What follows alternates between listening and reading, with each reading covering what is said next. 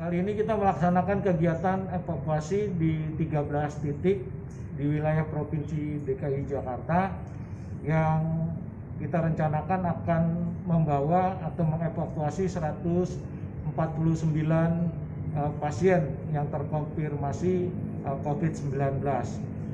Banyak di antaranya masih pada klaster keluarga.